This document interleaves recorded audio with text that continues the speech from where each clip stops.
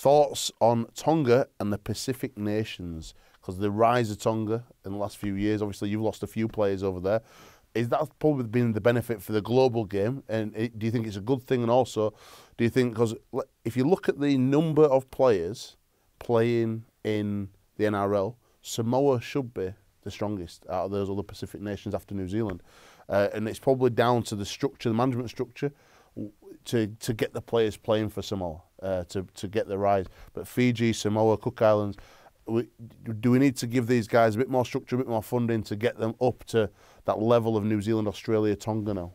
I think when we talk about the professionalism of, you know, the next tier, yep. um, taking that international level, I think funding's where it's at. I think you know funding these um, these nations um, with what they deserve um, is only going to grow our game, and that's where we as players want our game to go. We we want it to to be at a level playing field for everyone.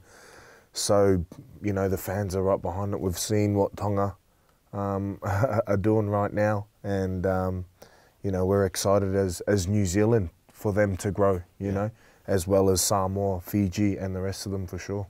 It's, it's a great bloke, David Argyle, who owns Toronto, doing some amazing work, and he's looking at the global game, and I believe he's got me thinking globally. We've had a few good like workshops on it, and I believe that if we had a proper international schedule with a couple of breaks in season, with with big games, big global games, that's when you're going to get global partners. That's when you're going to get a Coca Cola looking at the sport, going, "This is a proper global sport. Let's let's back it up." And that's when you get the money and the broadcast deals, the global broadcast deals, to give these countries more money to fund. That's where the money's going to come from. We've got to have a global perspective.